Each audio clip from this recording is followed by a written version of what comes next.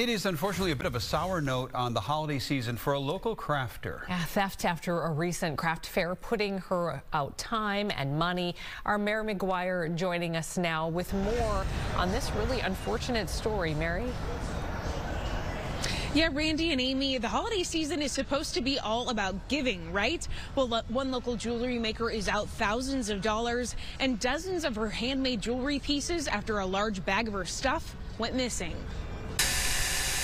What started as a hobby more than a decade ago has blossomed into a full blown side hustle for Amanda Bryan. These are some of my um, sterling silver earrings. She sells her handmade, handcrafted jewelry on social media and at local craft shows, working with beads, crystals, sterling silver, copper, and vintage china. Craft shows, art fairs really get me out talking to people, and um, I I love watching people love my jewelry.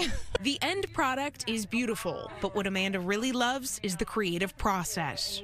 I just kind of get into my own zone and um, it's kind of me time. But hundreds of hours of work and thousands of dollars of merchandise are now missing.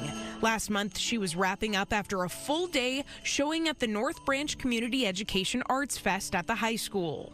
Packing up her car, a large tote bag full of $3,500 worth of rings, earrings, and necklaces vanished. It was sitting on the curb, and because everything in there is pretty fragile.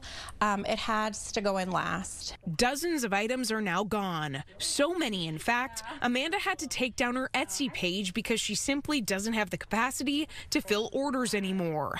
It's not just about the money lost, but the time, energy, and passion she poured into every piece. I have so much work into this. I mean, years of work.